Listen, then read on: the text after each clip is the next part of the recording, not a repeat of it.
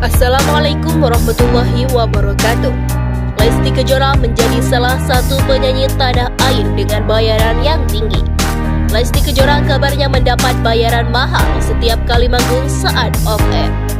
Tak hanya acara on air, Lesti Kejora memang menerima tawaran manggung untuk acara off air.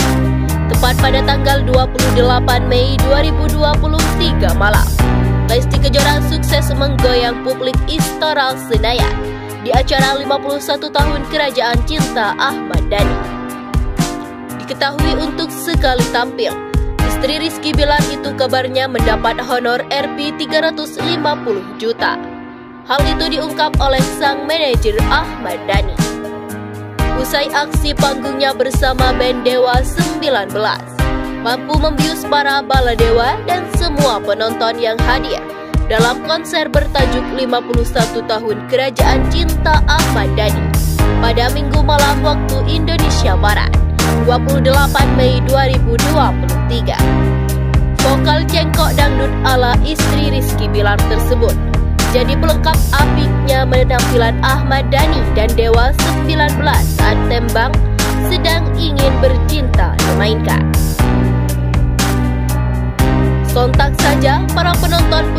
menyambut riuh antusias kehadiran Lesti yang memukau dengan balutan busana bernuansa glowing blonde dan seolah menyihir dengan gaya berdendangnya. Lesti Kejora pun menjadi salah satu penampil yang cukup ditunggu dalam gelaran konser api memeriahkan ulang tahun Ahmad Dhani yang ke-51 tahun tersebut. Selain Lesti, deretan penyanyi top papan atas tanah air pun turut ambil bagian dalam pertunjukan berkonsep megah itu.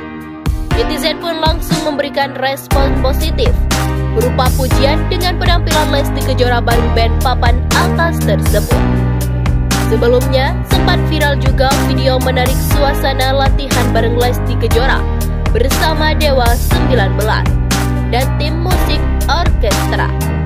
Lesti pun tampil dengan cukup santai di momen tersebut.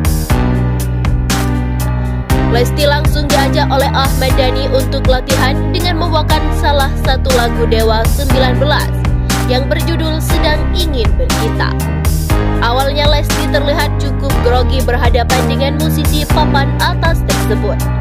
Namun perlahan tapi pasti, Lesti yang merupakan biduan berbakat tersebut terlihat langsung menyatu. Ditambah lagi terlihat Mulan Jamila yang memberikan arahan kepada Lesti saat latihan tersebut. Lanjut ke berita terbaru yang kedua. Setelah sempat tak terlihat, Rizky Bilar baru-baru ini kembali tampil sebagai model pada acara fashion show brand SAS Desagen. Melihat suaminya kembali bekerja dan tampil di hadapan publik tersebut, membuat Lesti Kejora banjir air mata.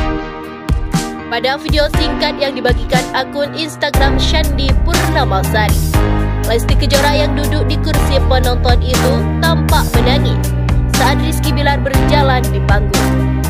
Ia tampak sangat bangga dengan sang suami setelah sebelumnya ramai dihujat karena isu masalah pada 2022 lalu. Tidak hanya itu, dalam video lainnya memperlihatkan Rizky Bilar yang memegang dagu Lesti Kejora saat berada di depannya.